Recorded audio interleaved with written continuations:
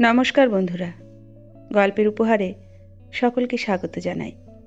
সকলকে জানাই শুভ বিজয়ার আন্তরিক প্রীতি ও শুভেচ্ছা। বড়দের জন্য প্রণাম এবং ছোটদের জন্য রইল অনেক ভালোবাসা। আজকে গল্প পড়ে শোনাব প্রভাত কুমার মুখোপাধ্যায় রচিত গল্প, গহনার বাক্স।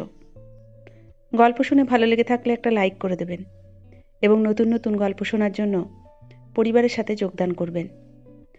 শুরু করছি আজকের গল্প, গহনার বাক্স। ছিন্ন পুরাতন কালো সার্যের চাপকানের উপর পাকানো দড়ির মতো চাদর ঝুলাইয়া একজন পৌঢ়বয়স্ক ভদ্রলোক শীত সন্ধ্যার অনতিপূর্বে আলিপুর হইতে খিদিরপুরের রাস্তা ধরিয়া চলিয়াছেন। লোকটির বয়স চল্লিশ পার হইয়াছে। রংটি ফর্সা, গোপগুলি বড় বড়, দাড়ি কামানো। দেহখানি কৃশ ও দুর্বল। চক্ষু দুইটি কোটরগত। ধীরে ধীরে পথ চলিতেছেন, যেন বড় ক্লান্ত, বড় পথশ্রান্ত।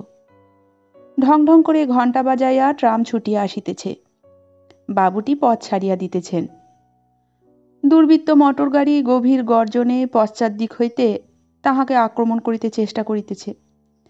কিন্তু বাবুটির পরমায়ু থাকায় সে চেষ্টা বিফল হইয়া প্রচুর ধুলায় তাহার মলিন বেশ মলিনতর করিয়া দিয়া চলিয়া যাইতেছে। বাবুটি খিদিরপুর গির্জার কাছাকাছি আসিতেই পথ পার্শ্বস্থ গ্যাস লণ্ঠন প্রজ্বলিত হইল। পুলের সম্মুখে চৌরাস্তায় পৌঁছিতেই খবরের কাগজের খোট্টা ফিরিওয়ালারা তাহার নিকট ছুটিয়া আসিয়া তারও স্বরে চিৎকার করিতে লাগিল। নায়েক বাবু, নায়েক! পাঁচকৌড়িবাবু গাঁজা খেয়ে ভারী গালাগালি দিয়েছে। আজকার বাস্যমতী বিষম কাণ্ড হলো বাবু বাস্যমতী ইত্যাদি ইত্যাদি। তাহাদের প্রতি নীরব উপেক্ষা প্রদর্শন করিয়া মোড় ঘুরিয়া পদ্মপুকুরের রাস্তা ধরিয়া পাঁচ সাত মিনিট পরেই বাবুটি একখানি ক্ষুদ্র দ্বিতল বাড়ির সম্মুখীন হইলেন।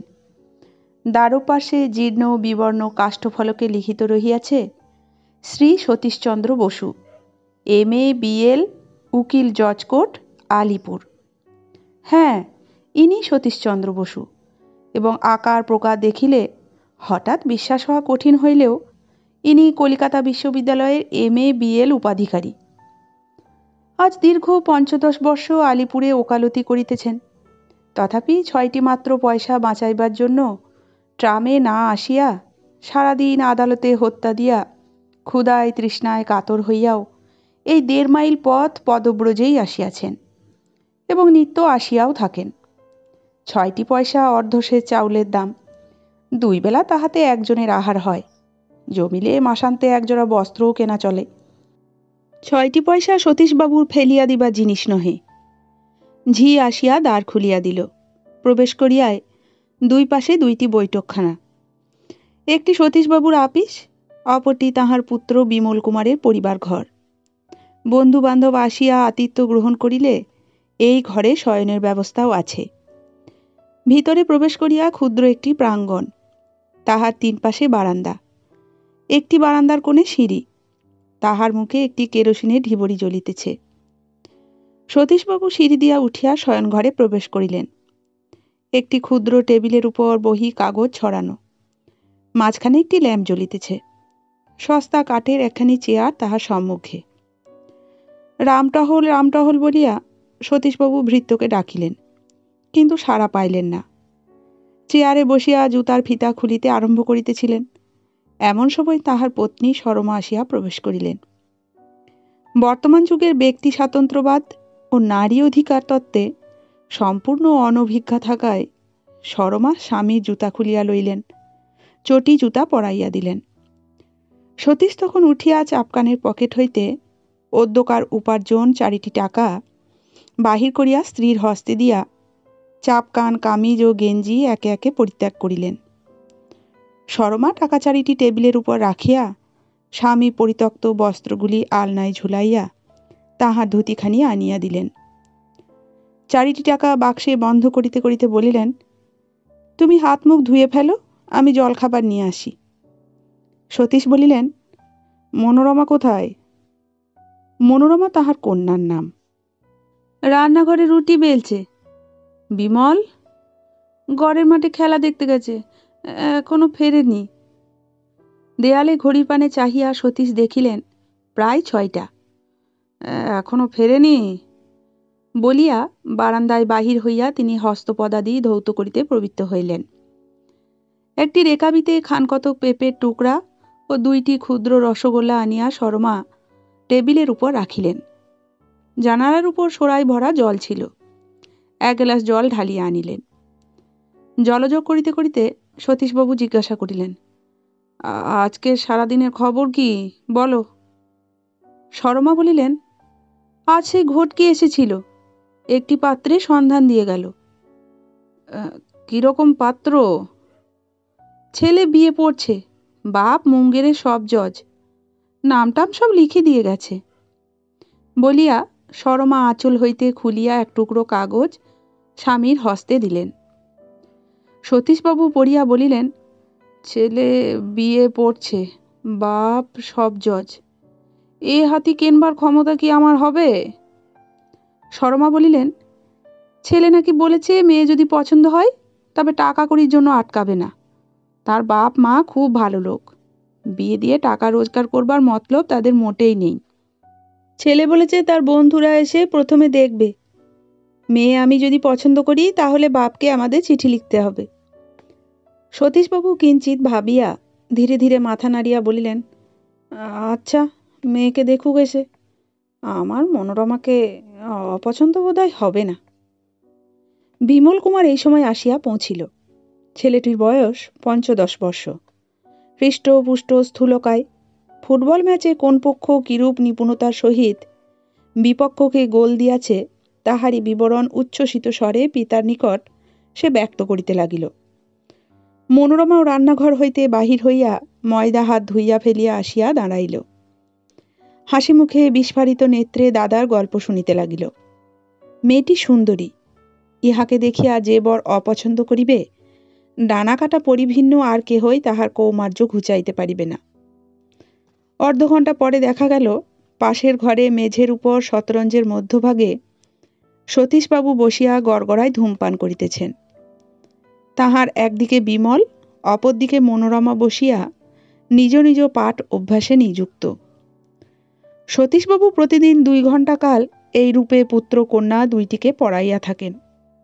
পটলডাঙ্গার কোনো ছাত্রাবাসের একটি কক্ষে আজ প্রাতকাল হইতে তিনটি তরুণ বয়স্ক বন্ধুতে মিলিয়া গোপন পরামর্শের ভারী ধুম পড়িয়া গিয়াছে। শচীন্দ্র অর্থাৎ সব জজবাবুর পুত্র। বলিতেছে, না ভাই, সে আমি পারব না, তোমরাই যাও। ক্ষিতীশ বলিতেছে, কেন? তোর ভয়টা কিসের? এমন নার্ভাস হলে চলবে কেন?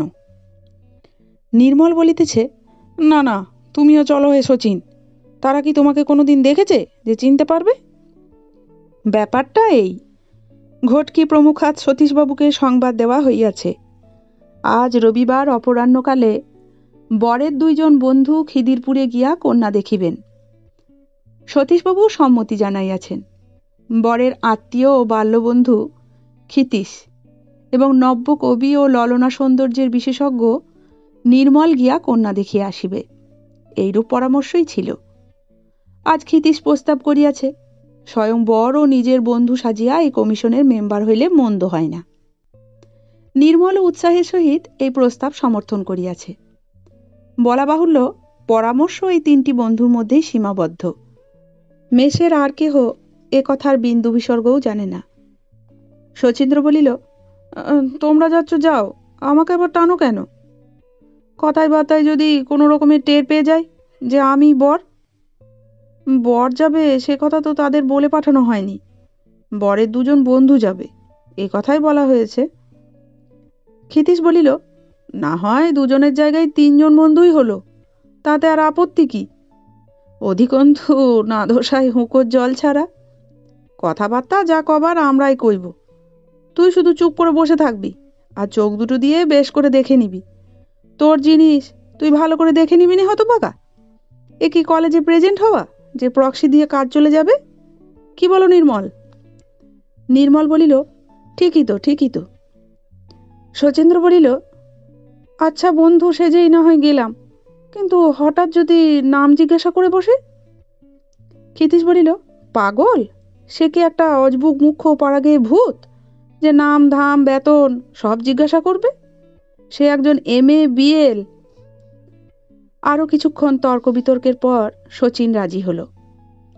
সাজগোজ করিয়া বেলা তিনটের সময় বাহির হইয়া তিন বন্ধু ট্রাম যোগে ধর্মতলায় গেল।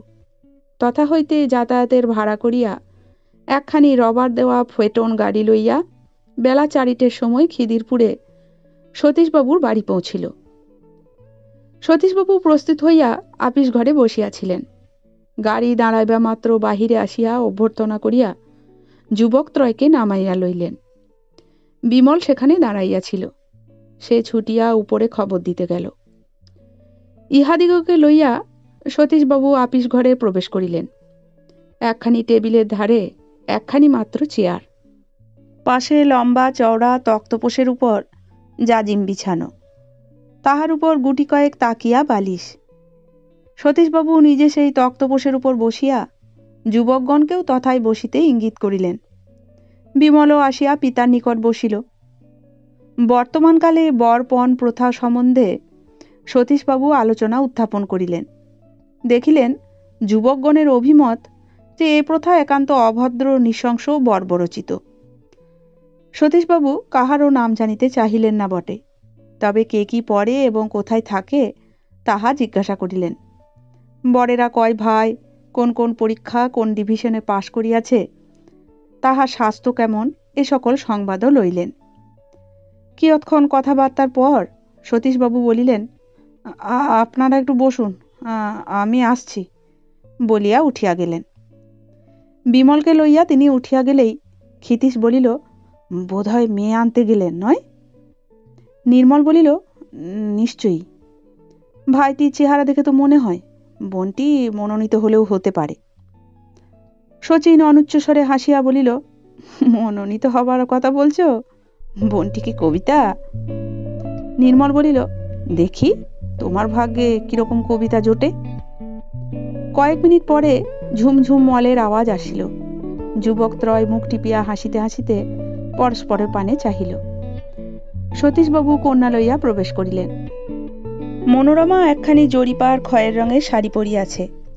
গায়ে সেই রঙের একটি রেশমি জ্যাকেট। হাতে চারিগাছি করিয়া আটগাছি হরতন চিরিতন চুরি মাথায় একটি পালিশপাত চিরুনি। ও তাহার দুই পার্শ্বে দুইটি প্রজাপতি কাঁটা। টেবিলের কাছে যে একখানি মাত্র চেয়ার ছিল, কন্যাকে সতীশবাবু তাহাতেই বসাইয়া বলিলেন এইটি আমার মেয়ে। মেয়ে নতনেত্রে চেয়ারে বসিয়া যুবকগণকে একটি নমস্কার করিল। ক্ষিতীশ ও নির্মল উভয়ে আশা করিতেছে, অপরজন মেয়েটির সঙ্গে কথা কহিবে। নির্মলকে বাক বাকবিমূঢ় দেখিয়া শেষে ক্ষিতীশচন্দ্রই বলিল তোমার নামটি কি? মেয়েটি চক্ষু না তুলিয়াই বলিল, মনোরমা কি পড়ো? এখন গ্রিমস ফেয়ারি টেলস পড়ছি। যুবকগণ মনে মনে ভাবিতেছিল, বালিকা, আখ্যান মঞ্জরি অথবা চারুপাঠ, বড়জোর সীতার বনবাস মেঘনাথ বধ পরে বলিবে। সুতরাং পুস্তকের নামে উচ্চারণের বিশুদ্ধতায় তাহারা একটু চমকিত হইল, খুশিও হইল। নির্মল এবার কথা কহিল জিজ্ঞাসা করিল তুমি কোন স্কুলে পড়ো? স্কুলে পড়ি না, বাবার কাছে পড়ি। বাংলা কত দূর পড়েছ? সতীশবাবু বলিলেন, বাংলা সমস্ত ভালো ভালোই বই ও পড়েছে। নির্মল মনোরমার দিকে চাহিয়া বলিল, রবিবাবুর কাব্য পড়েছ? পড়েছি। কোনো কবিতা মুখস্থ বলতে পারো? মনোরমা অবনত মুখে ঈষৎ হাস্য করিল। তাহার পিতা বলিলেন রবিবাবুর অনেক কবিতায় ওর মুখস্থ। বলো তোমায় একটা, বলো, এদের একটা শুনিয়ে দাও। মনোরমা মৃদুস্বরে গলা ঝাড়িয়া ধীরে ধীরে বলিতে লাগিল, একদা পুলকে, প্রভাত আলোকে গাহিচে পাখি, হইতে আরম্ভ করিয়া শেষ পর্যন্ত আবৃত্তি করিয়া নীরব হইল। ক্ষিতীশ বলিল বাহ বাহ খুব সুন্দর সুন্দর। লেখাপড়া তো বেশ ভালোই দেখছি। আচ্ছা আর একটা কথা জিজ্ঞাসা করি রান্না বান্না কিছু শেখা হয়েছে কি? মনোরমা মস্ত সংকেতে জানাইল যে তাহাও হইয়াছে। সতীশবাবু বলিলেন, সে বিষয়েও আমার মেয়ের খুঁত পাবেন না।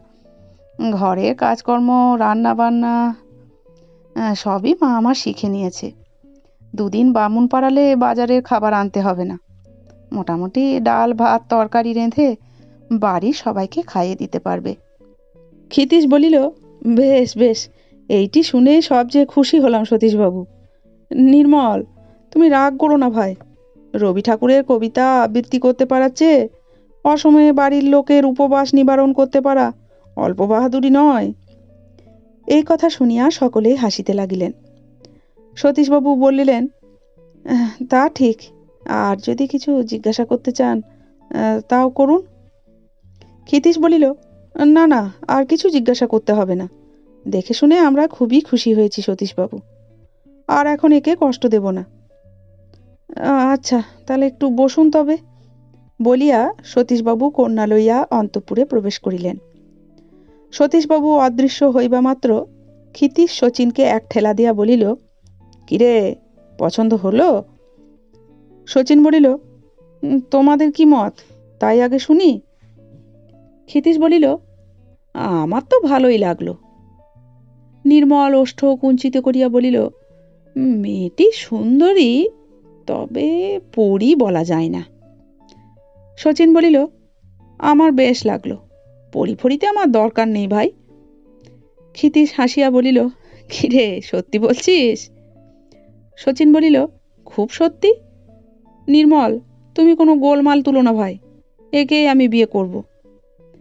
নির্মল বলিল পড়ি না হোক, মেয়েটি সুন্দরী, এ কথা তো আগেই বলেছি। রংটি একেবারে গোলাপ ফুলের মতো নয় বটে, কিন্তু সে আর বাঙালির ঘরে কোথায় পাবে? সে চাইলে পার্সি কি আরমানি মেয়ে খুঁজতে হয়। সংস্কৃতে যাকে বলে গৌরী, এ মেয়ে তাই বটে। মুখে চোখে গড়নেও তেমন কোনো খুঁত নেই। তা একে তুমি বিয়ে করতে পারো শচীন শচীন বলিল, ইচ্ছে তো তাই। কপালে এখন ফসকে না যায়, সেইটি তোমরা দেখো দাদা। সরমা স্বামীকে দেখিবা মাত্র জিজ্ঞাসা করিলেন, কি গা, কি বুঝলে? পছন্দ হলো? কি কি সব জিজ্ঞাসা টিজ্ঞাসা করলে? সতীশবাবু হাসিয়া বলিলেন খুবই জেরা করেছে। কেবল একটি ছেলে ছিল, নিতান্ত ভালো মানুষ। আর দুটো জ্যেষ্ঠ তাতো পছন্দ তো হয়েছে বলেই বোধ হলো। জল টল খাবার সব ঠিক আছে তো? আছে পাশের ঘরে সব সাজিয়ে রেখেছি। তা নিয়ে এসো তাদের নিয়ে এসো। জলযোগান্তে গাড়িতে উঠিবার সময় ক্ষিতীশ বলিল সতীশবাবু এক মিনিট একটা কথা আছে একটু এইদিকে আসুন তো। সতীশবাবু বলিলেন "আহ, রাস্তায় কেন? ঘরেই আসুন তাহলে। ওরা গাড়িতে বসুন একটু। বৈঠকখানা ঘরে আসিয়া ক্ষিতীশ চুপি চুপি বলিল, মেয়ে বরের পছন্দ হয়েছে। সতীশবাবু বিস্মিত হইয়া বলিলেন, হয়েছে? কি করে জানলেন? ক্ষিতীশ হাসিয়া বলিল, ওই যিনি চুপচাপ বসেছিলেন তিনিই বর। ওর বাপের ঠিকানা এই নিন। তাকে আপনি চিঠি লিখুন। তবে আমরা যে ঘটকি পাঠিয়েছিলাম, দেখতে এসেছি। এসব কথাগুলো কাইন্ডলি গোপন রাখবেন। আপনি যেন কারু কাছে খবর পেয়েছেন যে অমুক বাবুর বিয়ের যোগ্যী ছেলে আছে, সে কলকাতায় পড়ে। এই খবর পেয়েই যেন আপনি লিখছেন, বুঝলেন? সতীশবাবু বলিলেন আচ্ছা আচ্ছা বাবাজি আচ্ছা। চিঠি আমি কালই লিখব, আর এসব কথা প্রকাশও করব না। কিন্তু সব জজবাবু যদি অনেক টাকা হেঁকে বসেন, তাহলে কি হবে? আমি ওকালতি করি বটে। কিন্তু অবস্থা তো দেখতেই পাচ্ছ বাবাজি, কোনো রকমে দিন গুজরান করি। বেশি টাকা আমি কোথায় পাবো? ক্ষিতীশ বলিল, সেজন্য আপনি ভাববেন না, সে ঠিক করে নেওয়া যাবে এখন। শচীনের বাপ মহেন্দ্রবাবুকে আমি ছেলেবেলা থেকে দেখছি কি না? একজন উঁচু দরের লোক তিনি। জ্যাঠাইমাও খুব ভালো। এ বিয়ে যাতে হয় সে আমরা করব। আপনি নিশ্চিন্ত থাকুন। আপনার কাছে আর গোপন করে কি হবে? আপনার মেয়েকে আমাদের শচীনের ভারী পছন্দ হয়েছে। আচ্ছা আচ্ছা কালই আমি চিঠি লিখব। বলিয়া সতীশবাবু বাহিরে আসিয়া ক্ষিতীশকে গাড়িতে তুলিয়া দিলেন। নিতান্ত ভালো মানুষ ছেলেটির প্রতি পূর্বে তিনি ততটা নজর করেন নাই। এইবার উত্তম রূপে তাহাকে দেখিতে লাগিলেন। সতীশবাবুর তীক্ষ্ণ দৃষ্টি নিজের প্রতি স্থাপিত জানিয়া বিব্রত হইয়া শচীন্দ্র মাথা হেট করিল। কালব্যয় না করিয়া সেই রাত্রেই সতীশবাবু বরের পিতাকে পত্র লিখিতে বসিলেন। শচীনকে তাহারও ভারী পছন্দ হইয়াছে। ছেলেটি যেমন শিষ্ট শান্ত, দেখিতেও তেমনি সুশ্রী, স্বাস্থ্যবান। সরমা বলিতে লাগিলেন, এমন পাত্রটি মনোর ভাগ্যে কি হবে? চতুর্থ দিনে মুঙ্গের হইতে পত্রোত্তর আসিল। সব জজ মহেন্দ্র ঘোষ মহাশয় লিখিয়াছেন, এই মাঘ মাসেই শচীন বাবা জীবনের এক্সামিনের তারা আছে এবং এক্সামিন শেষ হইলে তাহার জোড়া বৎসর পড়িবে। কিন্তু প্রথমে মেয়েটি দেখা আবশ্যক। দুই একজন বন্ধু সমবিবাহারে গিয়া আপনার কন্যাটিকে দেখিয়া আসিবার জন্য বাবা জীবনকে অদ্য পত্র লিখিলাম। মেয়েটি যদি পছন্দ হয় এবং অন্যান্য বিষয়ে যদি মনোপুত হয়, তবে মাঘ মাসেই বিবাহ হইতে পারিবে। পত্র পড়িয়া সরমা হাসিয়া বলিলেন, বাবা জীবন যে রাম না হতেই রামায়ণ সেরে বসে আছে, তা তো কর্তার খবর নেই। অন্যান্য বিষয়টা কি? সতীশ একটি দীর্ঘ নিঃশ্বাস ফেলিয়া বলিলেন হ্যাঁ অন্যান্য বিষয় নিয়েই তো যত গোল। ওর মানে দরে যদি পটে, এই আর কি। পত্র লিখিয়া রবিবারে শচীন ও ক্ষিতীশকে সতীশবাবু নিমন্ত্রণ করিয়া পাঠাইলেন। তাহারা আসিলে চিঠি দেখাইলেন। ক্ষিতীশ বলিল, মেয়েটিকে আর একবার দেখান তাহলে। দেখে এখানে বসেই চিঠি লিখে দিচ্ছি। সতীশবাবু অন্দরে গেলেন। গৃহিণী আপত্তি করিতে লাগিলেন। এই স্নান করেছে। এখনও চুল শুকোয়নি, বাধা হয়নি। এখন দেখাবো কি করে? সতীশ ফিরিয়া আসিয়া ইহাদিগকে বলিলেন তোমরা খাওয়া দাওয়া করে একটু বিশ্রাম করে নাও। ও বেলা দেখো এখন। ক্ষিতীশ বলিল আগে সে কি করে হয়? এক ঘণ্টার বেশি সময় তো আমরা থাকতে পারব না। কেন? এখন দেখাতে বাধা কি? সতীশবাবু গুইগাই করিয়া অবশেষে বাধা কি তাহা প্রকাশ করিলেন। শুনিয়া ক্ষিতীশ হাসিয়া উঠিল। বলিল নাই বা চুল বাঁধা হলো। তাতে কি হয়েছে? খোলা চুল দেখলাম বা। আপনিও যেমন, ওসব ফর্মালিটি আমরা মানি টানি নে। নিয়ে আসুন নিয়ে আসুন। Just as is. আসল কথা কি জানেন সতীশবাবু? জ্যাঠামশাইকে এই যে চিঠি লিখব, আসিলাম, দেখিলাম এই কথাগুলো মিথ্যে না হয়ে যায়। সতীশবাবু মনে মনে বলিলেন, জ্যেষ্ঠ তা তো। প্রকাশে বলিলেন আচ্ছা বসুন, নিয়ে আসি।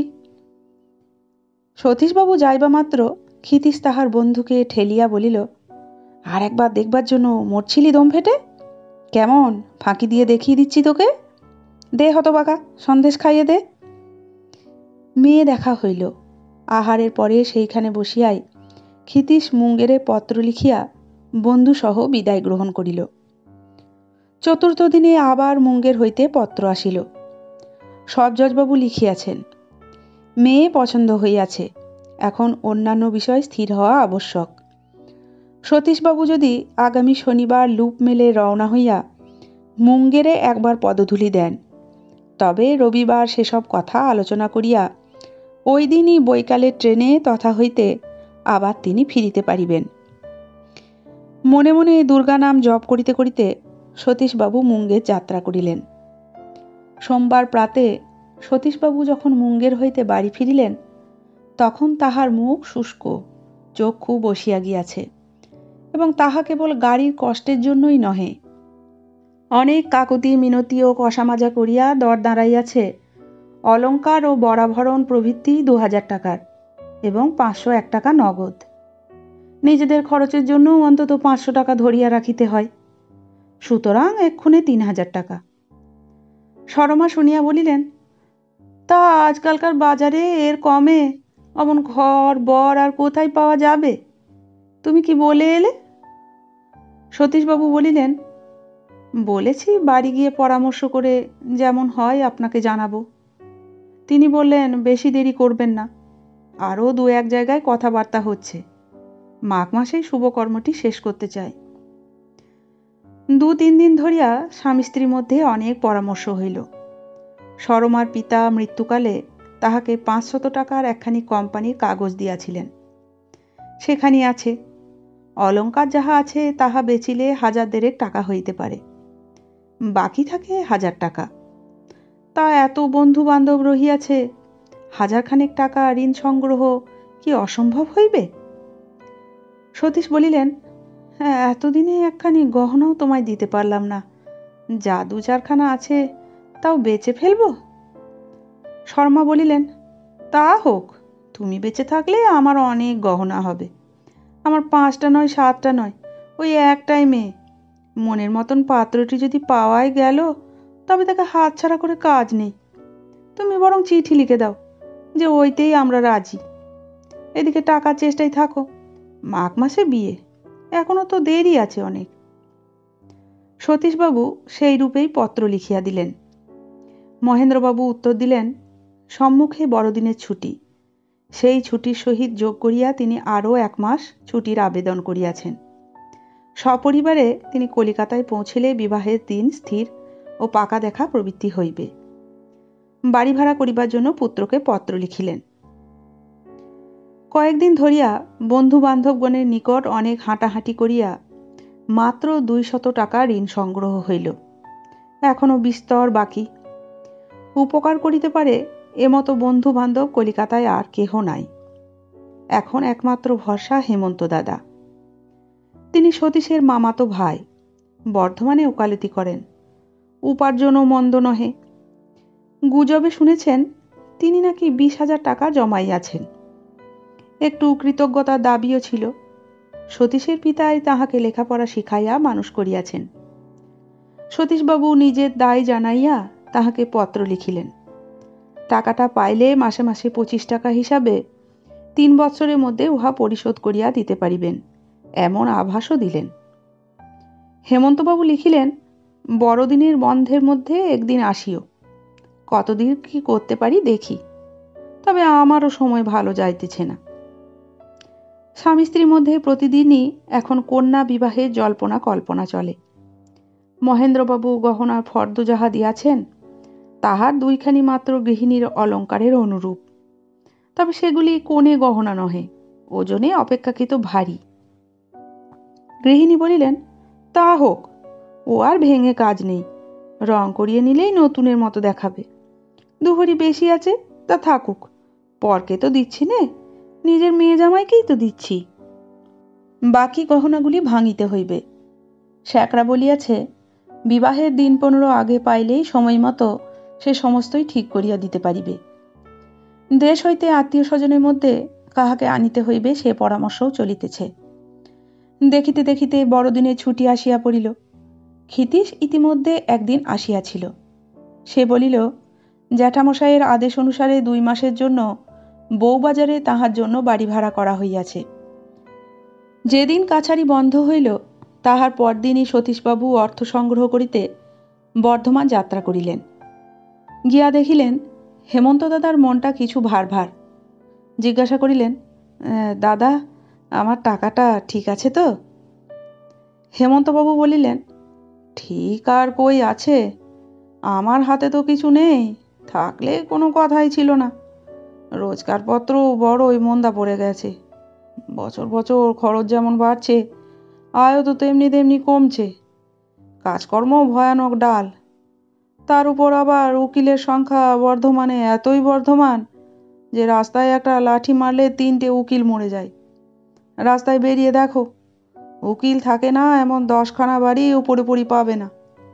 এক ধার থেকে তক্তা ঝুলছে। শ্রী অমুকচন্দ্র অমুক, উকিল জর্জ কোট। মফস্বল বারের সেদিন আর নেই রে ভাই। এখন পেট চলা দুষ্কর। তার উপর গাড়ি ঘোড়া কিনে আরও বিপন্ন হয়েছি। আমি তো আমি। গিয়ে দেখো গে। বড় বড় নামজাদা সব উকিল বার লাইব্রেরিতে বসে হাই তুলছেন আর গুড়ুক ফুকছেন। এই বক্তৃতা শুনিয়া সতীশচন্দ্রের বুক দমিয়া গেল। দাদা বিশ হাজার টাকা জমাইয়াছেন। এ কথা দুই বছর পূর্বে তিনি শুনিয়াছিলেন। সুতরাং টাকা নাই ইহা একটা অছিলা মাত্র। টাকা যথেষ্টই আছে। দিবার যদি ইচ্ছা না থাকে, তবে সে স্বতন্ত্র কথা। একটি দীর্ঘ নিঃশ্বাস ফেলিয়া বলিলেন হ্যাঁ তবে দাদা, আমার কি উপায় হবে? বারো বছরের মেয়ে গলায় বেঁধে কি আমি ডুববো? হেমন্ত বলিলেন, দু একজন বন্ধুকে বলে রেখেছি, টাকাটা তাদের কাছে ধার পেলেও পাওয়া যেতে পারে। কতকটা সেই ভরসাতেই তোমাকে আসতে বলেছিলাম। বইকালে বেরোবো একবার। এখন বেলা হলো। স্নান টান করে ফেলো ভায়া। বেলা সাড়ে তিনটার সময় গাড়ি নিয়া হেমন্তবাবু বাহির হইলেন। যে সকল হাকিম ছুটিতে কোথাও যান নাই বর্ধমানেই আছেন, তাহাদের বাসায় গিয়া নানা খোশ গল্প ও চটু বাক্যে তাহাদিগের সন্তোষ বিধান করিয়া সন্ধ্যাকালে বাড়ি ফিরিলেন। সতীশ তীর্থের কাকের মতো আশায় বুক বাঁধিয়া অপেক্ষা করিতেছিলেন। হেমন্ত মুখানি নিতান্ত বিষণ্ন করিয়া মাথা নাড়িতে নাড়িতে বলিলেন না কোথাও সুবিধে হলো না। তারা বললে হ্যাঁ আপনাকে বলেছিলাম বটে, কিন্তু বড়ই এখন টানাটানি। দু চার মাস পরে বরং হতে পারে। চেষ্টা তো করলাম, কি করি বলো ভায়া? আমি বলি কি, কলকাতাতেই বরং আরেকবার চেষ্টা করে দেখো গে। রাত্রি নয়টা সাতাশ মিনিটের প্যাসেঞ্জারে সতীশবাবু কলিকাতায় ফিরিবার কথা। একটা দিন থাকিবার জন্য হেমন্তবাবু অনুরোধ করিলেন। কিন্তু সতীশবাবু তাহাতে সম্মত হইলেন না। আহারের জন্য আসনে বসিলেন মাত্র। খান দুই লুচি খাইয়াই তাহার ক্ষুধা ফুরাইয়া গেল। সতীশের পুত্রকন্যার জন্য হেমন্তবাবু একহারি মিহিদানা আনাইয়া রাখিয়াছিলেন। তাহাই লইয়া নয়টার পূর্বেই হেমন্তবাবু গাড়িতে তিনি স্টেশনে রওনা হইলেন। আকাশে মেঘ করিয়াছে, বাতাস বহিতেছে। শীতটাও আজ বেশ কনকনে। ট্রেন ছাড়িল। মধ্যম শ্রেণির একখানি বেঞ্চের কোণে বসিয়া জুতা খুলিয়া, পা তুলিয়া, পায়ে শাল ঢাকা দিয়া সতীশবাবু চিন্তা করিতে লাগিলেন। বড় আশা করিয়াই তিনি হেমন্ত দাদার নিকট আসিয়াছিলেন। সেই আশা ভঙ্গ হওয়ায় তাহার বুকের ভিতরটা কেমন যেন করিতে লাগিল।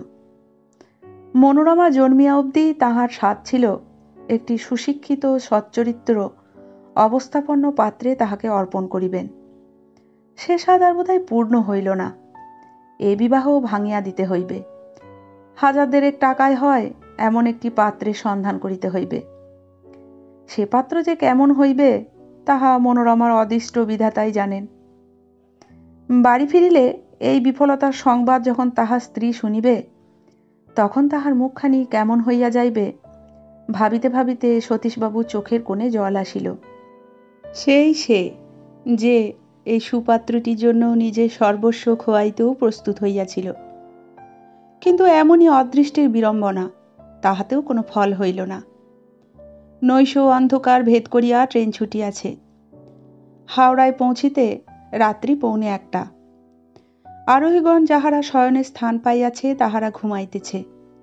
বাকি লোক বসিয়া বসিয়া ঢুলিতেছে। শীতের জন্য কামরার সমস্ত জানালাগুলি রুদ্ধ। কোনো একটা স্টেশনে সতীশবাবুর বেঞ্চিটা খালি হইয়া গেল। সুযোগ বুঝিয়া চামড়ার ব্যাগটি মাথায় দিয়া তিনি শুইয়া পড়িলেন।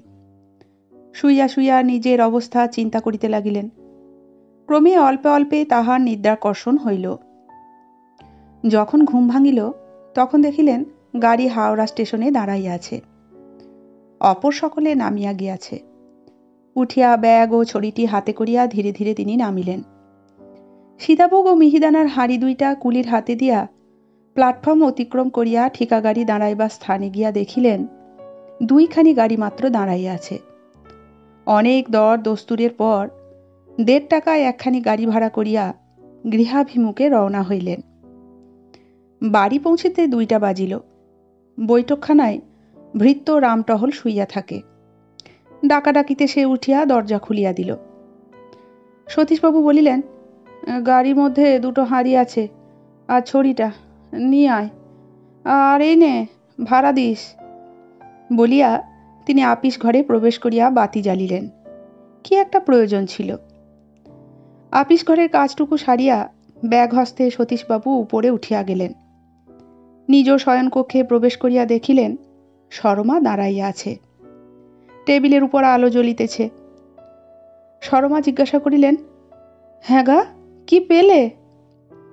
সতীশ বিষাদের হাসি হাসিয়া বলিলেন পেলাম ওই সীতাভোগ আর মিহিদানা। বলিয়া তিনি মেঝের উপর রক্ষিত হাড়ি দুইটি দেখাইয়া দিলেন। আর টাকা? টাকা পাইনি। সরমা হাসিয়া বলিলেন, যাও যাও, ঠাট্টা করতে হবে না, টাকা পেয়েছ। এই যে, বাক্সতে টাকা? আবার বলা হচ্ছে টাকা পাইনি।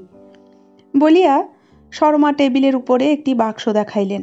সতীশ দেখিলেন, সবুজ বনাতের ঘেরাটোপ ঢাকা একটি বৃহৎ ক্যাশ বাক্স। জিজ্ঞাসা করিলেন, এ কার বাক্স? শর্মা বলিলেন, নাও নাও, আর রঙ্গরস রাখো। নিজে নিয়ে এলেন, আবার জিজ্ঞাসা করছেন কার বাক্স। সব টাকা পেয়েছ তো? সতীশ বাক্সটির ঘেরাটোপ মুক্ত করিয়া বলিলেন আমি কখন এ বাক্স নিয়ে এলাম? পাগল নাকি? সরমা ইহাতে বিস্মিত হইলেন। বলিলেন হ্যাঁ তুমি আনোনি? কি বলছো গো? এক্ষুনি তো রামটহল তোমার ছড়ি, হাঁড়ি দুটো আর এই বাক্স রেখে গেল। সতীশ বলিলেন রামটহল এনে রেখে গেল? কোথায় পেল সে?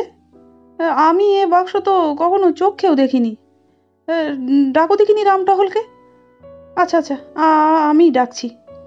বলিয়া তিনি বাহিরে গিয়া ডাকিতে লাগিলেন। রামটহল এই রামটহল রামটহল আসিলে জিজ্ঞাসা করিলেন গাড়ি থেকে তুই কি কি নামিছিস রে? রামটহল বলিল হাড়ি দুটো ছড়ি আর এই বাক্স বাবু। নিচে হাড়ি দুটো ছিল। উপরে গোড়ার দিকে সে বসবার জায়গায় বাক্স ছিল। আমি তো লন্ঠন নিয়ে বেশ করে ভিতরে দেখেছি বাবু, আর তো কিছু ছিল না। সতীশ বলিলেন আচ্ছা যা তুই যা। রামটহল চলিয়া গেলে স্বামী স্ত্রী পরস্পরের মুখাবলোকন করিতে লাগিলেন। সতীশবাবু বাক্সটি তুলিয়া দেখিলেন, উহা বিলক্ষণ ভারী। ভিতরে ঝমঝম করিতেছে। বলিলেন, এ নিশ্চয় কেউ ঘোড়ার গাড়িতে ফেলে গিয়েছিল। কোচম্যানও তা জানতে পারেনি। এখন উপায়? শর্মা নির্বাক বিস্ময়ে একবার স্বামীর মুখ পানে, একবার বাক্স পানে চাহিতে লাগিলেন। সতীশ বলিলেন কার বাক্স জানাই বা যাবে কি করে? খুলতে পারলে হয়তো কিছু সন্ধান পাওয়া যেত। কোনো চিঠিপত্র, কাগজ টাগজ যদি ভিতরে থাকে। কি করে খুলবে গা?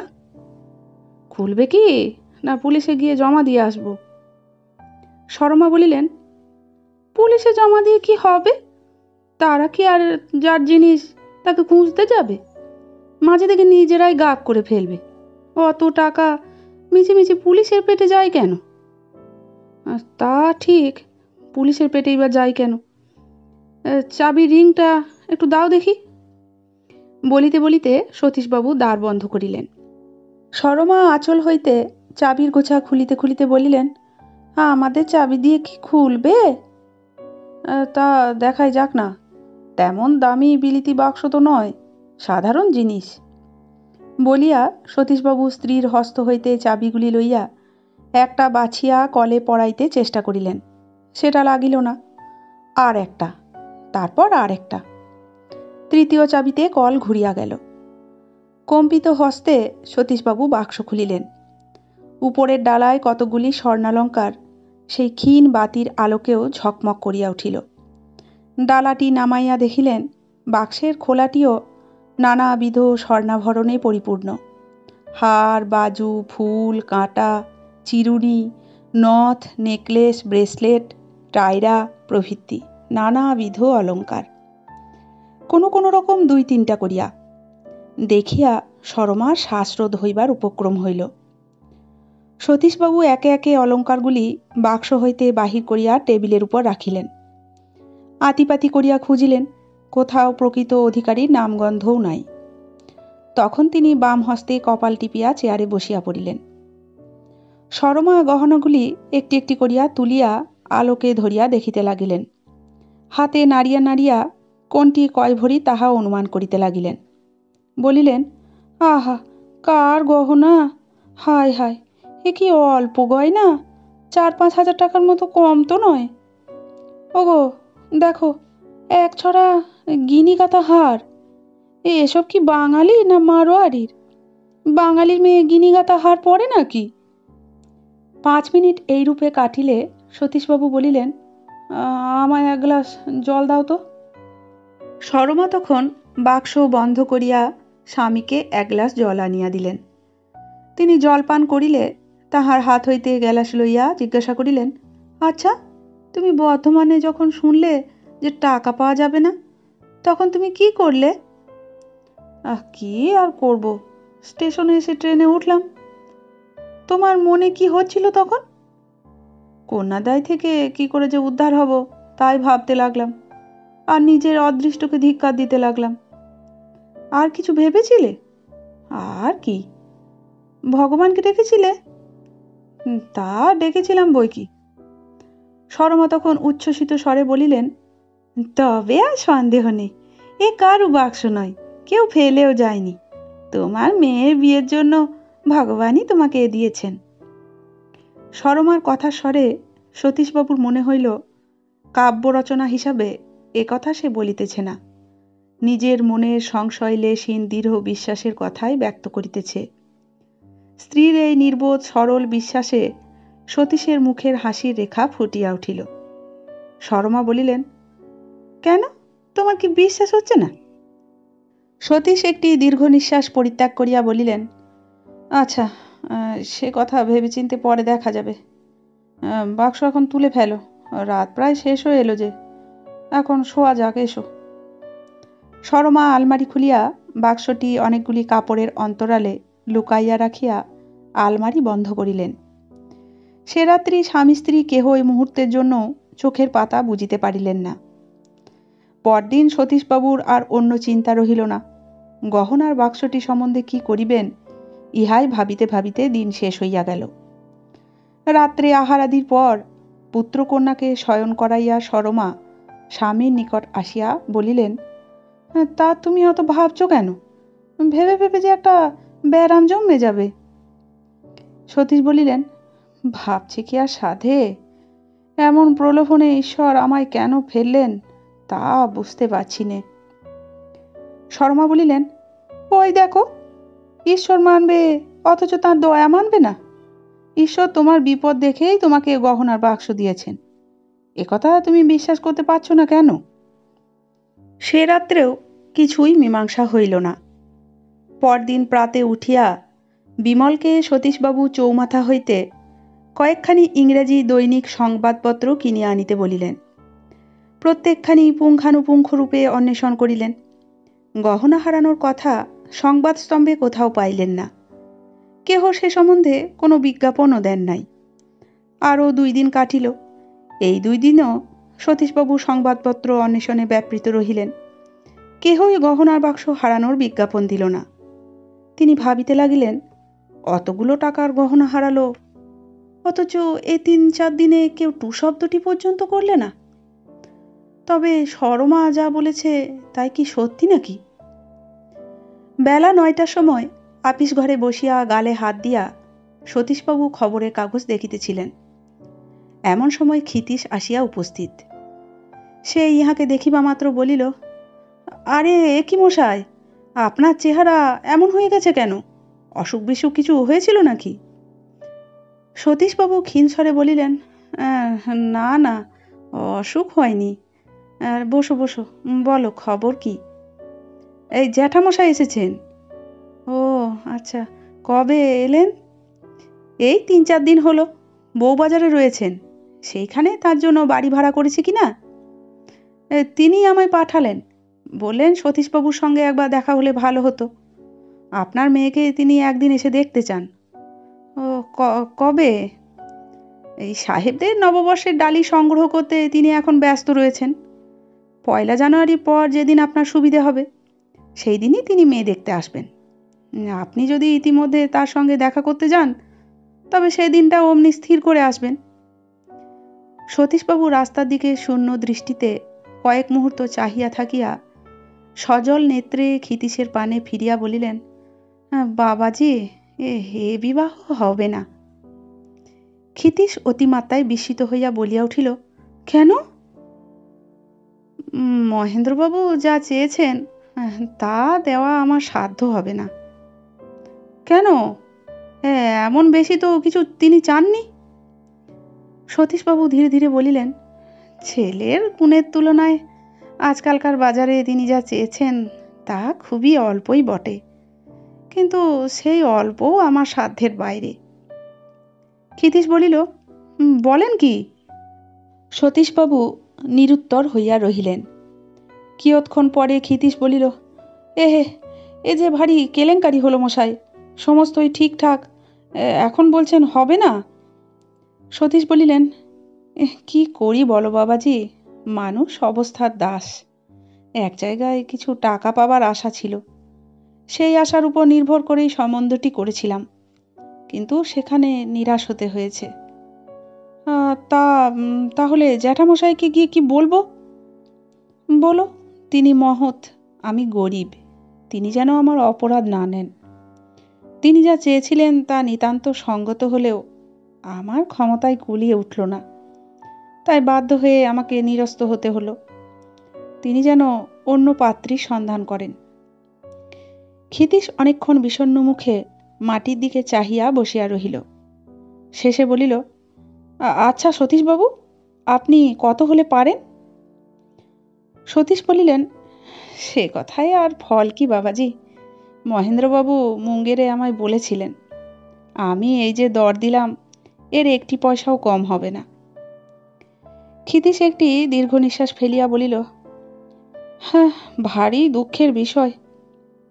সতীশ বলিলেন হ্যাঁ বাবাজি, দুঃখ আমারই। মহেন্দ্রবাবুকে তুমি বুঝিয়ে বলো। আমি চেষ্টা যদ্দূর তা করবার তা করেছিলাম। কিন্তু কিছুতেই ওই পরিমাণ টাকা সংগ্রহ করে উঠতে পারলাম না। ক্ষিতীশ বলিল "আহ, তার চেয়ে সকল কথা খোলাখুলি আপনি তার নামে একখানা চিঠি লিখে দিন না কেন? সেই চিঠি তাকে আমি দেব? ঠিকই বলেছ। একটু বসো তাহলে। বলিয়া সতীশবাবু উঠিয়া টেবিলের নিকট গিয়া বসিয়া পত্র লিখিতে লাগিলেন। ক্ষিতীশকে বিদায় দিয়া সতীশবাবু অন্তপুরে প্রবেশ করিলেন। স্ত্রীকে নিভৃতে ডাকিয়া কম্পিত স্বরে কহিলেন আমি মনস্থির করে ফেলেছি শর্মা। শর্মা শঙ্কিত দৃষ্টিতে স্বামীর মুখের পানে চাহিয়া রহিলেন। সতীশ বলিলেন প্রলোভনকে আমি জয় করেছি। শর্মা, তোমার স্বামী গরিব, কিন্তু চোর নয়। আমি এইমাত্র বিবাহ ভঙ্গ করে মহেন্দ্রবাবুকে চিঠি লিখে দিয়ে এলাম। আজই ওবেলা কলকাতায় গিয়ে আমি ইংরেজি, বাংলা খবরের কাগজে গহনার বাক্স সম্বন্ধে বিজ্ঞাপন দিয়ে আসব। শর্মা বলিলেন, কেউ যদি দাবি না করে? তাহলে ও সমস্ত গহনা বিক্রি করে কোনো অনাথ আশ্রম কিংবা হাসপাতালে দান করব। আমার মেয়ের অদৃষ্টে যদি ভালো পাত্র থাকে, তবে কেউ তাকে বঞ্চিত করতে পারবে না শর্মা। তুমি নিশ্চয়ই তা জেনো। শর্মা বলিলেন আচ্ছা সেই ভালো। তাই করো। বেলা হয়ে গেছে, এখন স্নান করে ফেলো দেখি। বিকালে বাহির হইয়া কাগজে কাগজে সতীশবাবু এই বিজ্ঞাপনটি ছাপিতে দিয়ে আসিলেন। গহনার বাক্স, কুড়াইয়া পাইয়াছি, কবে কোথায় হারাইয়াছিল বাক্সের রং ও গঠন, তাহাতে কি কি গহনা আছে যিনি বলিতে পারিবেন, তাহাকে ওই বাক্স দেয়া যাইবে। সতেরো নম্বর পদ্মপুকুর রোড, খিদিরপুর। দাবিদার স্বয়ং আসিয়া অনুসন্ধান করুন। উপর্যপুরী কয়েক রাত্রি অনিদ্রার পর আজ সতীশবাবু ঘুমাইয়া বাঁচিলেন। বড়দিনের ছুটি শেষ হইয়া গেল। সতীশবাবু কাছারি গিয়াছেন, বিমল স্কুলে গিয়াছে।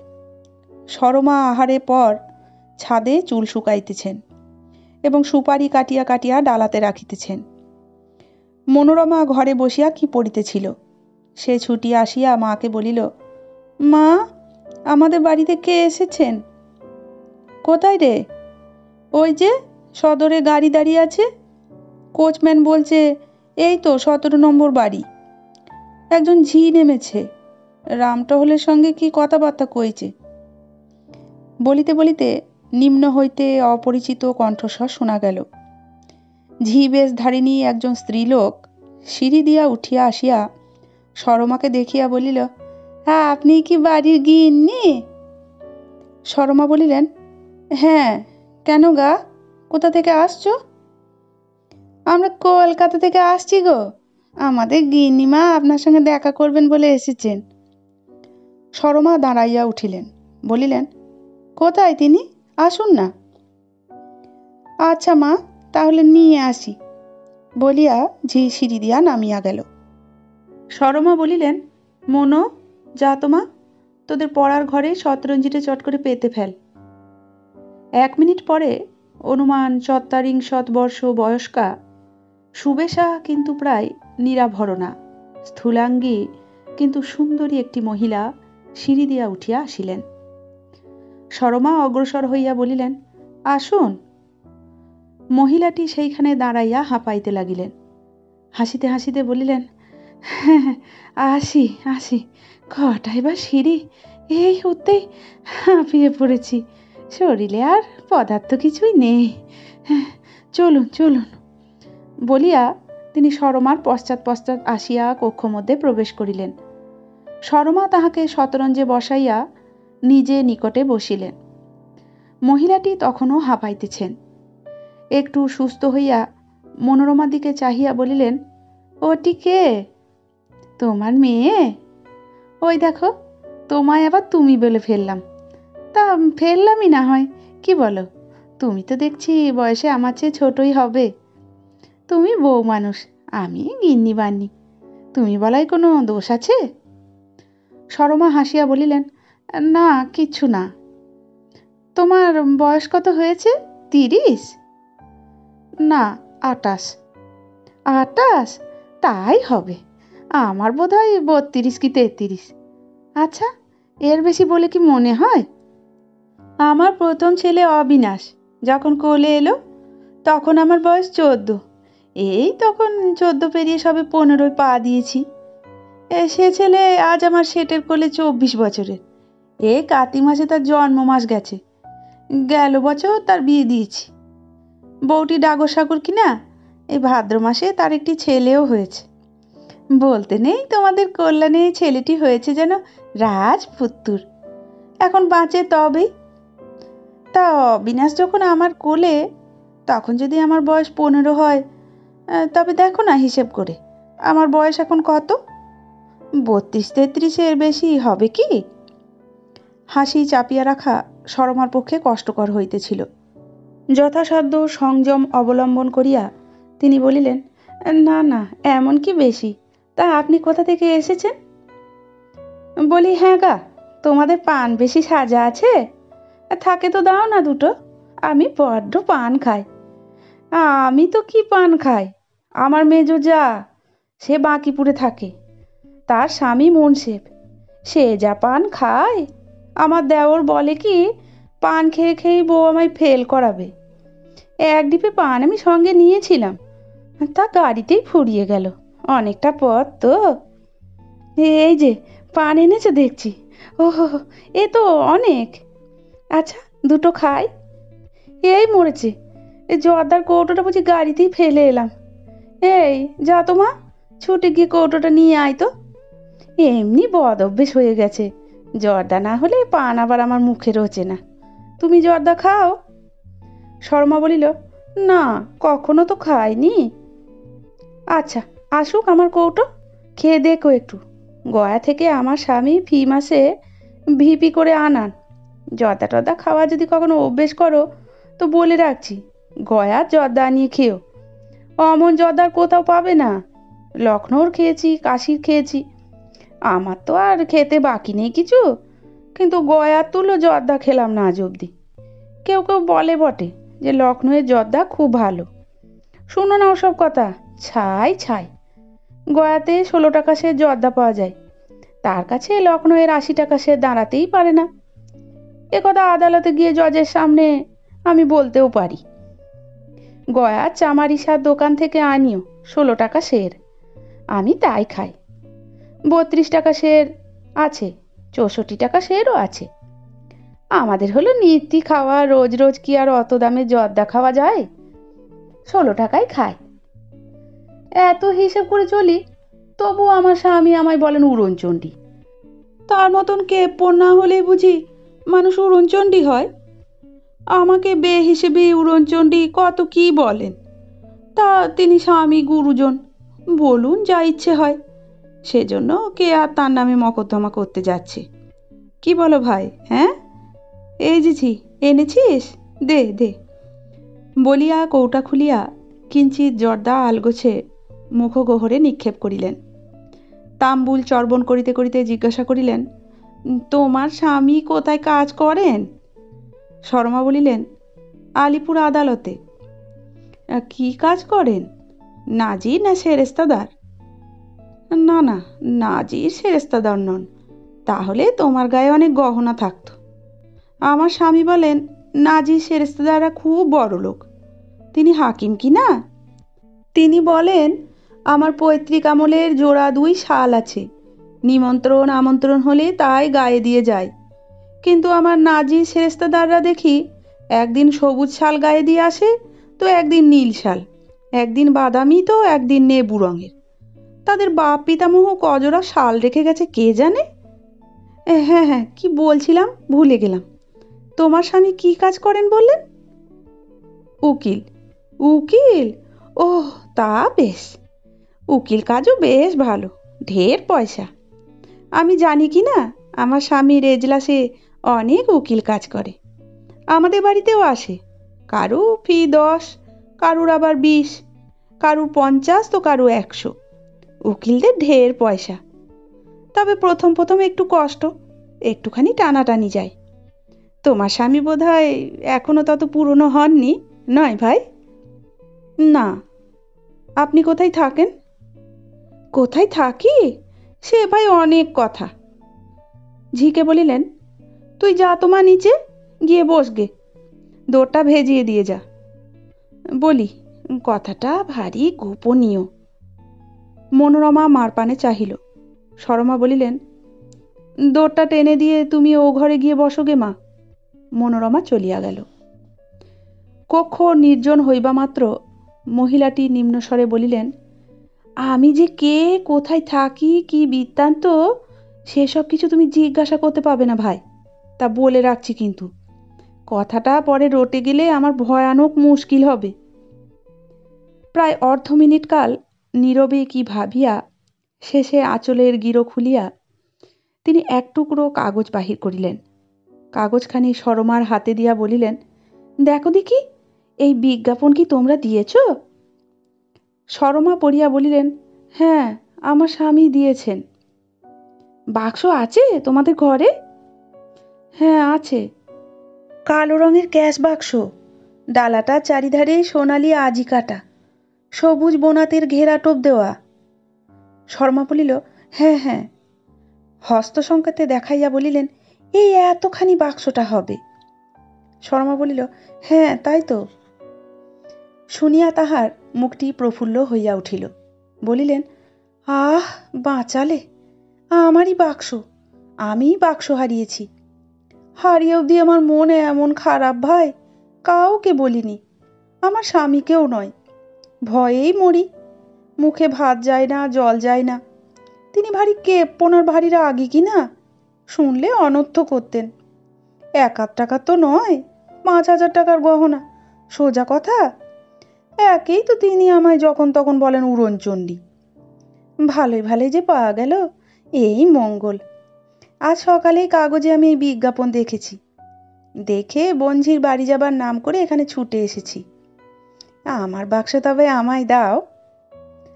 শর্মা একটু ইতস্তত করিয়া বলিলেন মানে তিনি বাড়ি না এলে কখন আসবেন? সন্ধ্যার সময়। মহিলাটি চিন্তিত হইয়া বলিলেন, তবেই তো মুশকিল, ততক্ষণ কি থাকতে পারব?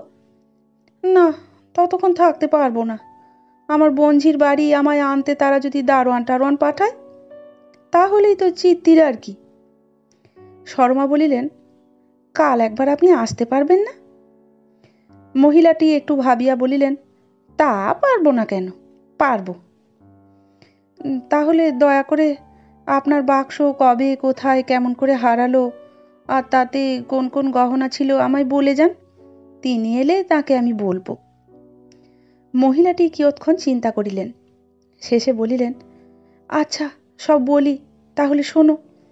আমরা থাকি পশ্চিমের একটা শহরে। নামটা না হয় নাইবা শুনলে। আমার স্বামী সেখানকার হাকিম। ডেপুটি মুন্সেব কি সব জজ? সেটা আর নাই বা বললাম। আমার মেজ ছেলে, সে এখানে কলেজে পড়ে। একজন উকিল। কোথাকার উকিল সেটা নাই বা বললাম। তার মেয়ের সঙ্গে আমার ছেলের বিয়ে সম্বন্ধ করেছিল। বেচারি গরিব। গিয়েছিল মঙ্গেরে আমাদের বাড়ি। কর্তা দরজা হাঁকলেন? তাই শুনেই তার চক্ষু চরক গাছ। সে মেয়েকে দেখে আমার ছেলের নাকি ভারী পছন্দ হয়েছিল। তাই কর্তাকে আমি অনেক বুঝিয়ে সুঝিয়ে দেড় হাজার টাকার গহনা, দান সামগ্রী বরাভরণ পাঁচশো টাকার, নগদ পাঁচশো টাকা, এই আড়াই হাজারে রাজি করালাম। বাবুটিও শিকার হলেন। কর্তা এক মাসে ছুটি নিলেন। কলকাতায় বাড়ি ভাড়া হলো। আমরা সবাই কলকাতায় আসছি। ডাক গাড়িতে রিজার্ভ পাওয়া গেল না।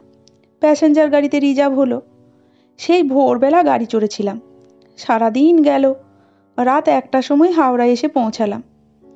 গহনার বাক্সটি আমার হাতে, কর্তার হাতে, তার কুড়িয়ার ব্যাগ। কুলিদের মাথায় সব জিনিসপত্র দিয়ে সরমা এই সময় বাধা দিয়ে জিজ্ঞাসা করিলেন, কবে? কোন দিন আপনারা হাওড়ায় এসে পৌঁছলেন? মনে আছে? মহিলাটি বলিলেন ওই, যেদিন কাছারি বন্ধ হলো, তার দিন গো। বড়দিনের আগের দিন আর কি।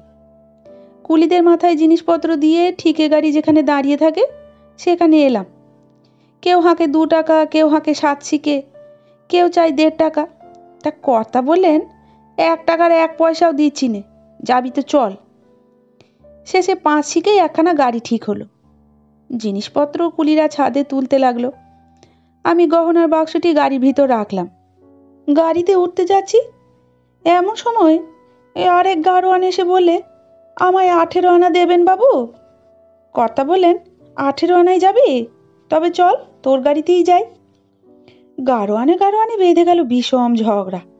এই মারে তো এই মারে। এ দেখে তো আমি ভয়েই মরি। ফৌজদারি দাঙ্গায় বুঝি দাঁড়াই। কর্তা বললেন, চলো কুলি লোক, মাল উতারো। ক্যা দেখতা? আমার হাত ধরে বললেন, এসো। তার সঙ্গেই গেলাম।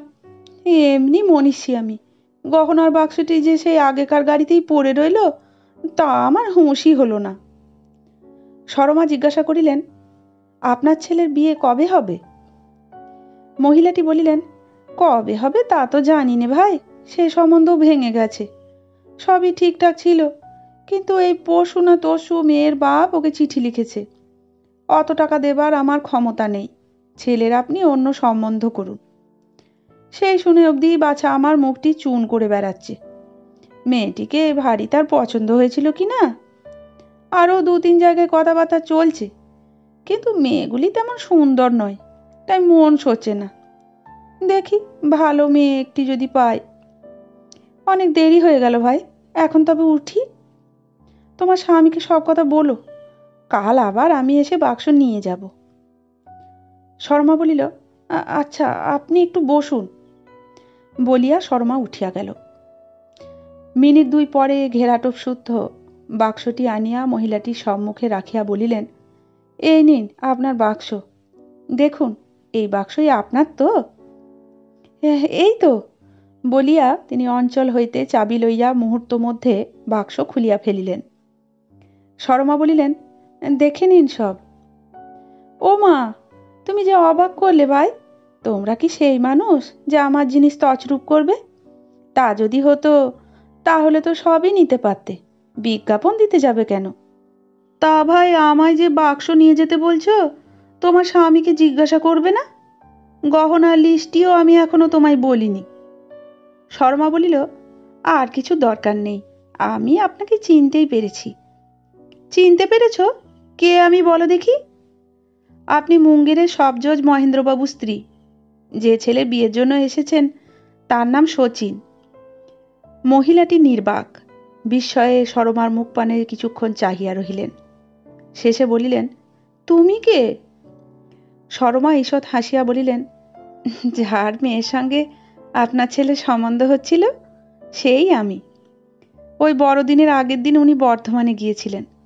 এক জায়গায় হাজারখানেক টাকা পাবার কথা ছিল তো, সেই টাকা আনতে। তার টাকা পাওয়া গেল না। রাত একটার সময় ওই ট্রেনে বর্ধমান থেকে উনি ফিরলেন। ঘোড়া গাড়ি করে বাড়ি এলেন। বাক্স আগে উনি গাড়িতে দেখেননি। বাড়ি এসে পৌঁছে চাকর গাড়ি থেকে অন্য জিনিসপত্রের সঙ্গে ওই বাক্সও নামিয়ে এনেছিল। উনি তো দেখে অবাক।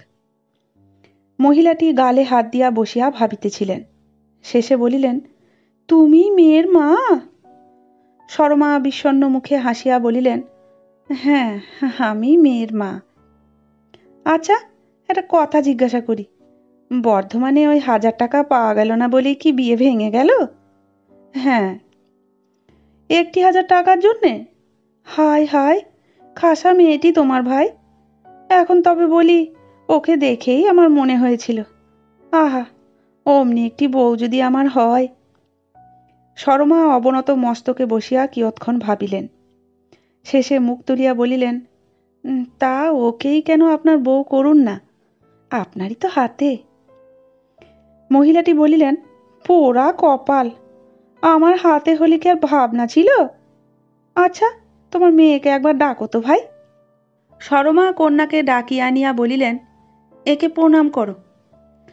মনোরমা প্রণাম করিলে সব গৃহিণী কাছে বসাইয়া সস্নেহে তাহাকে নানা প্রশ্ন জিজ্ঞাসা করিতে লাগিলেন। অবশেষে পান ও জর্দা খাইয়া উঠিলেন। সরমাকে বলিলেন, আজ তাহলে উঠি ভাই, বাক্স নিয়ে চললাম। কাল কি পরশু আবার আমি আসব। বলিয়া তিনি বিদায় গ্রহণ করিলেন। পরদিনই তিনি আবার আসিয়া উপস্থিত। সিঁড়ি উঠিবার ক্লান্তি লাঘব হইলে সরমাকে নিভৃতে ডাকিয়া চুপি চুপি বলিলেন, আমার স্বামীকে অনেক বলে কয়ে দেখলাম। তিনি একটি পয়সাও কমাতে চান না। হ্যাঁ এমন কেপন দেখিনি ভাই। এ কি কম আফসোস যে হাজার টাকার জন্যে এমন বউটি আমি হারাবো? তাই ও টাকাটা আমি সঙ্গে করে এনেছি। এই নাও কখানা নোট। আমার টাকা তুমি আমাকেই দেবে? তুমি তো আর নিচ্ছ না। তুমি কিছু মনে করো না কিন্তু ভাই।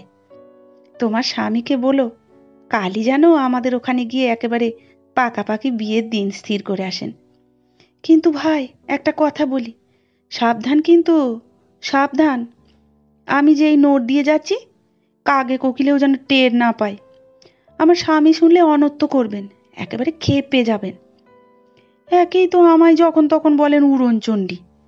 হ্যাঁ ভাই, আমি উড়নচণ্ডী? বলিয়া শর্মার হাতে তিনি নোটের গোছা দিলেন। শর্মা বলিল, না না, আপনি লক্ষ্মী, আপনি কমলা। বলিয়া শর্মা সজল নয়নে সবজজ গৃহিণীর পদধূলি লইলেন। আজকের গল্প পাঠ এখানেই শেষ করলাম। পরবর্তী নতুন গল্প নিয়ে চলে আসব খুব তাড়াতাড়ি। ততদিনের জন্য সকলে ভালো থাকবেন এবং পরিবারের সাথেও পাশে থাকবেন। নমস্কার।